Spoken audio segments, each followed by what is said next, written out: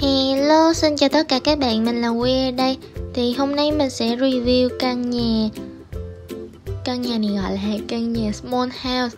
Có giá là 7.000 tiền sao này. Căn nhà này thì mình sẽ decor theo ờ, phong cách là nhà gỗ và hướng tới thiên nhiên á.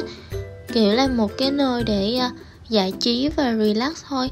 Nhà này chắc là tôi sẽ đặt cho nó ở một cái vị trí đó là Đắk Lắk, Lâm Đồng gì đó đi ha ai mà đâm vô nhà tôi trời.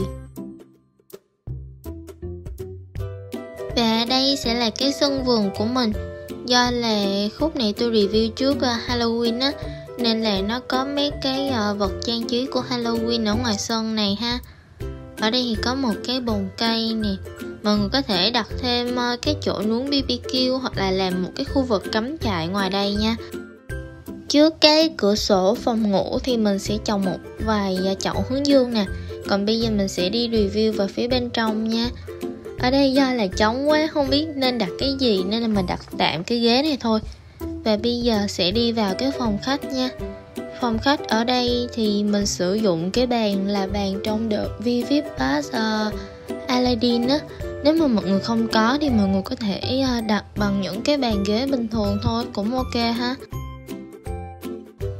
với cái uh, phòng khách để có thể hóng mát như thế này thì uh, mọi người đi ngủ phải đóng cửa cẩn thận nha không lặn trộm vô á.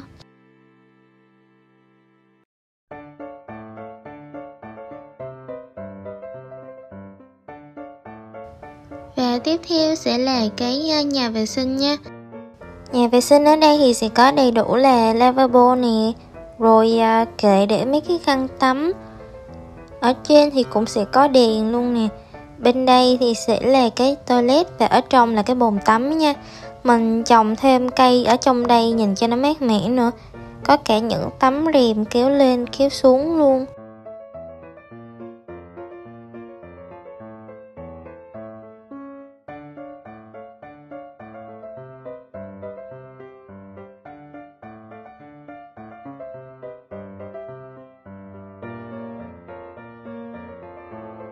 Và mình còn trống một cái khúc ở bên ngoài như thế này, Mọi người có thể xây thêm những cái kệ ha.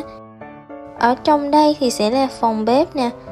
Phòng bếp ở đây là một cái bàn ăn dành cho gia đình có 4 người. Đằng sau là những cái kệ để trồng cây. Nhà này thì đa số là mình dùng cái đèn dây leo để cho nó sáng Và nó mang một cái màu vàng ấm áp một xíu Ở đây thì sẽ là cái ờ, bếp để nấu ăn cũng như là khu vực làm bánh.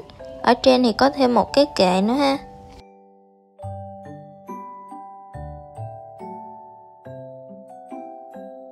Còn bây giờ sẽ là cái khu vực mà mình thích nhất nè. Ở đây thì à, sẽ là một cái tủ đồ. Tủ đồ này do là mình không có cái à, kính để lắp lại. Nên là thôi mình sẽ để tạm như thế này nhé còn ở phía bên đây là chỗ để ờ, làm việc cũng như là đọc sách học tập gì đó. Có một cái đèn ờ, bự chà bá ở trên luôn. Trong đây thì sẽ có thêm là một cái gương để ờ, nhìn toàn thân nè. Còn bên đây là cái bàn trang điểm.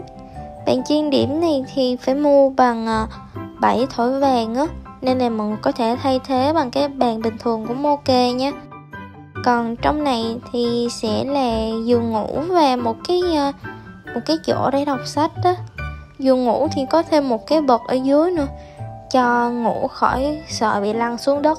He he. Mình sẽ để link bốc chat trên ờ, Facebook cho mọi người tham gia vào trò chuyện trong đó. Và mọi người muốn tham quan nhà của mình thì cũng có thể nhắn tin vào trong đó giúp mình luôn nha.